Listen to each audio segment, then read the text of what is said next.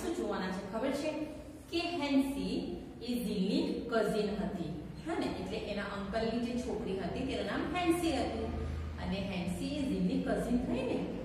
તો તે Hansie ઝીલને અબુધાબીથી India આવતા તેને પ્લેનમાં બેઠી હતી. તો તેને પ્લેનમાંથી તેને શું જોયું?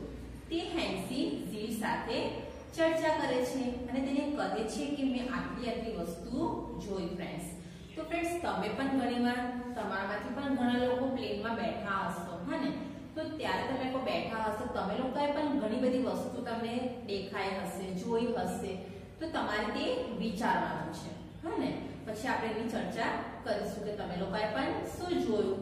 ઓકે ફ્રેન્ડ્સ તો અત્યારે આપણે હેન્સીએ શું જોયું પ્લેનમાંથી તો તે આપણે જોઈએ.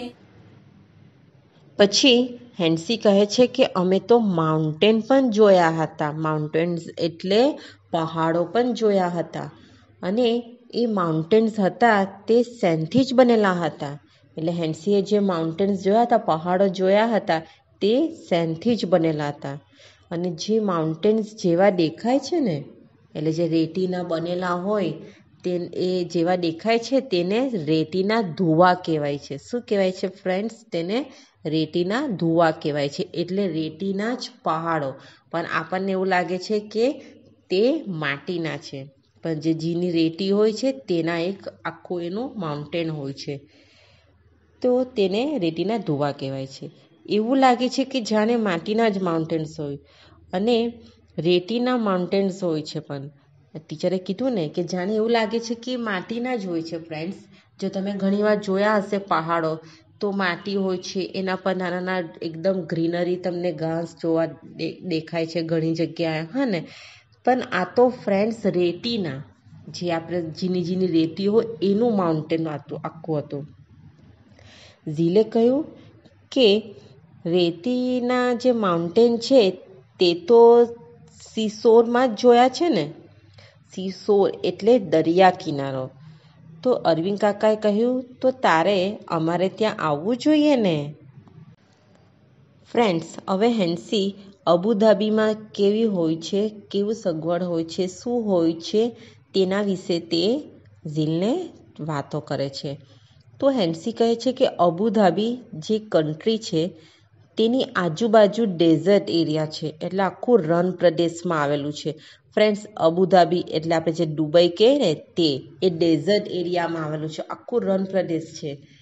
એટલે જ્યાં અબુધાબીની આજુબાજુ રેત, તમને રેતી જ, એટલે ડેઝર્ટ એટલે રેતી જેવું જ તમને ત્યાં દેખાય છે.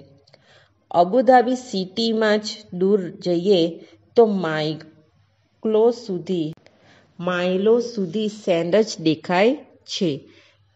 ત્યાં તમને ટ્રીઝ એટલે વૃક્ષો ન દેખાય. ફ્રેન્ડ્સ આજુબાજુ સેન્ડી એરિયા હોય, એટલે ત્યાં તમને ગ્રીનરી બહુ જોવા નહીં મળે. આપણે અહીંયા કેવું ગ્રીનરી જોવા મળે? તો ત્યાં અબુધાબીમાં ગ્રીનરી તમને જોવા નહીં મળે. ત્યાં સેન્ડી એરિયા છે. ઓકે ત્યાં માત્ર સેન્ડ જ જોવા મળે છે. ફ્રેન્ડ્સ નીટા કાકી વિચારવા પડી ગયા અને તેને વિચાર આવે છે કે તેનું કેરેલામાં હાઉસ હતું. તેઓ કેરેલામાં રહેતા હતા.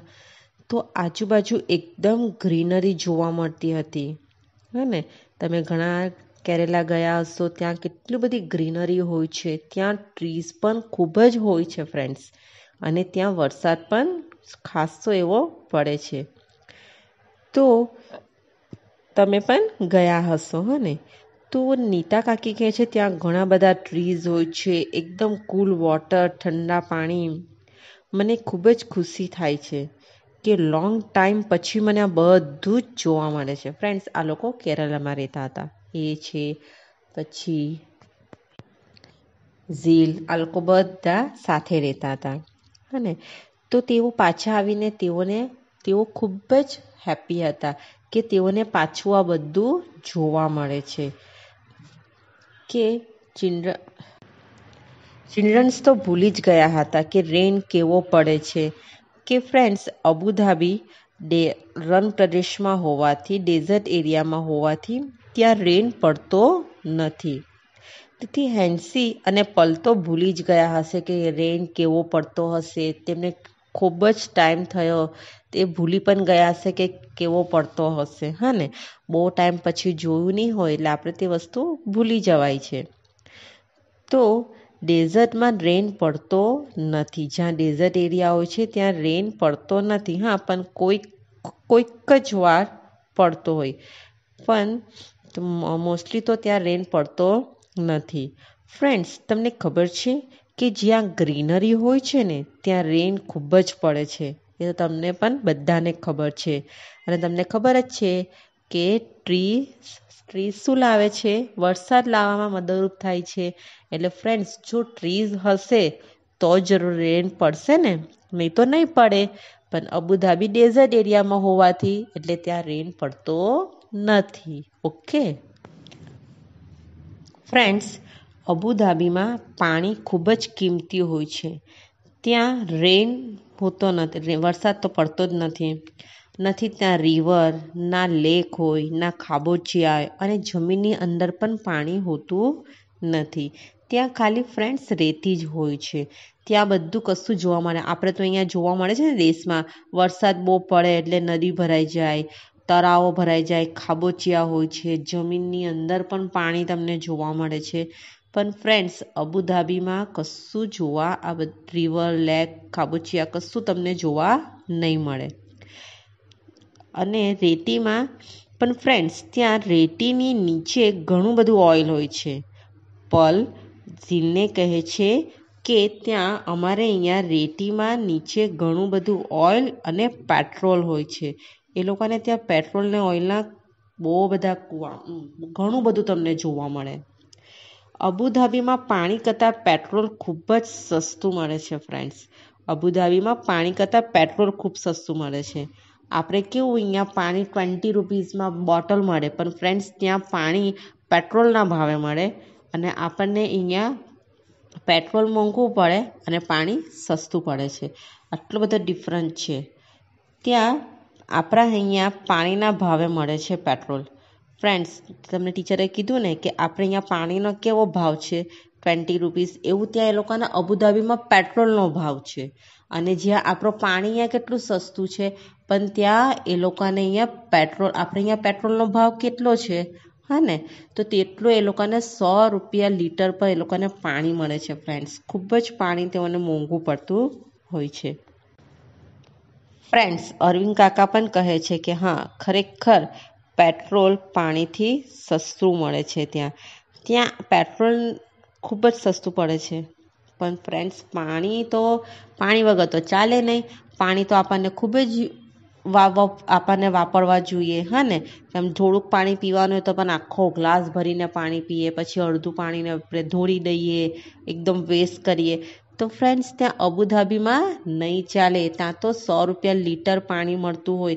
એટલે તમારે એકદમ સાચવી સાચવીને યુઝ કરવું પડે. જેનો, જેને પાણીનો ખૂબ જ વપરાશ કરવાની જે આદત પડી જાય ને ફ્રેન્ડ્સ એને અબુધાબીમાં ખૂબ જ તકલીફ પડે કે પાણી એ લોકોને બહુ બચાવવું પડે. એ લોકોને ત્યાં જે પીવાના પાણીના જગ હોય એ તેઓને પૈસા આપીને લેવા પડે છે. આપણે તો કેવું અહીંયા નળ ખોલો એટલે પાણી જ પાણી દેખાય. તો ત્યાં એ લોકોને મીઠું પાણી તમને એટલું બધું જોવા નહીં મળે.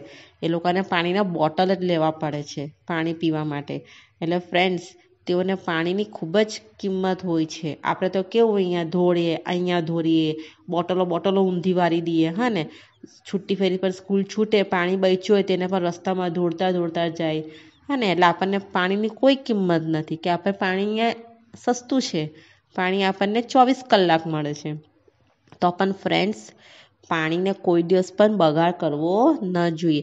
ભલે આપણે અહીંયા પાણી મળતું હોય, પણ પાણીનો જેટલો આપણને યુઝ હોય, એટલો જ એને યુઝ કરવો જોઈએ. કોઈક વાર જો આવી જગ્યાએ જવાનું થાય, તો આપણા માટે ખૂબ જ તકલીફ પડી જાય છે. એટલે બધી જ વસ્તુ આપણે શીખવું જોઈએ. ઓકે ફ્રેન્ડ્સ પડી ગઈ સમજ? ફ્રેન્ડ્સ વાતો કરતાં કરતાં બધા જીલના હાઉસ પર પહોંચી ગયા. હેન્સી અને પલ એકદમ સરપ્રાઈઝ થઈ ગયા. કેમ સરપ્રાઈઝ થઈ ગયા? કે ત્યાં ઘણા બધા ફ્રૂટ્સના ટ્રીઝ જો, જોઈને તેઓ એકદમ સરપ્રાઈઝ થઈ ગયા. બનાના કોકોનટ જેકફ્રૂટ એટલે ફણસ, પપૈયા સોપારીના કેટલાક પ્રકારના ટ્રીઝ હતા, તે જોઈને તે એકદમ સરપ્રાઈઝ થઈ ગઈ. ભલે કહ્યું કે અમે તો ત્યાં ફક્ત એક જ પ્રકારનું ટ્રીઝ જોયું હતું, તે પણ ખજૂરનું, કારણ કે તે એક જ છે કે જે રણમાં ઉગી શકે છે. ફ્રેન્ડ્સ અબુધાબીમાં તમને ખાલી ખજૂરના ટ્રી જોવા મળે. બીજા કોઈ પણ ટ્રીઝ તમને જોવા નહીં મળે. કારણ કે ત્યાં ડેઝર્ટ એરિયા હોવાથી ત્યાં ખાલી ખજૂરનું જ ટ્રી થાય છે. ત્યાં આવા બધા તમને ફ્રૂટના ટ્રીઝ તમને જોવા નહીં મળે. ફ્રેન્ડ્સ ત્યાં ખજૂરના વૃક્ષો ઉગે છે. તેથી તે ખજૂરના વૃક્ષને રણ પ્રદેશનું કલ્પવૃક્ષ તરીકે ઓળખાય છે. ફ્રેન્ડ્સ ત્યાં ખજૂરના જ વૃક્ષ ઉગે છે. એટલે ત્યાં તે રણ પ્રદેશનું કલ્પવૃક્ષ કહેવાય છે. તમને ખબર છે ફ્રેન્ડ્સ કે આપણે કચ્છમાં પણ રણ પ્રદેશ હોવાથી ત્યાં પણ તમને ખજૂરના વધારે તમને ટ્રીસ જોવા મળે છે. હા ફ્રેન્ડ્સ તમને ખબર છે કે અબુધાબીમાં ખજૂરના ટ્રીઝ હોવાથી તો ખજૂરમાં પણ ઘણી બધી વેરાયટી હોય છે.